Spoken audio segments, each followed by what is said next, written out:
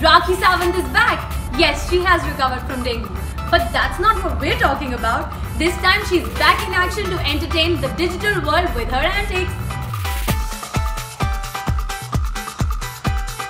Rakhi is all set to make her digital debut with a web series titled Rakhi in Khaki. You heard it right. After delivering sexy and raunchy item songs, Rakhi Sawant is ready to make a move to the digital domain. Rakhi, dressed as a cop, will be giving her opinion on the latest Bollywood happenings in her own imitable style.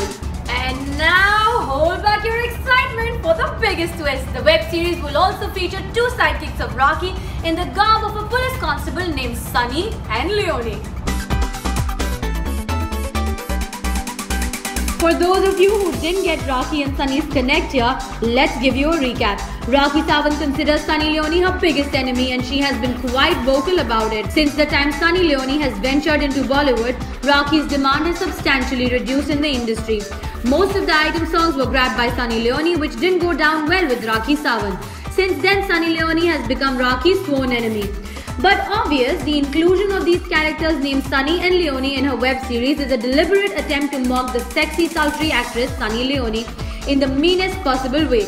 And when Rakhi comes to doing that, no one can beat her. Taking more information on the web series, Rakhi was supposed to start shooting for it in the beginning of October 2016.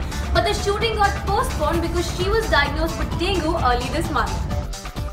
However, after recovering from her illness, Rakhi shot for the first episode recently. The first episode of Rakhi and Khaki is expected to hit the digital domain in last week of October 2016.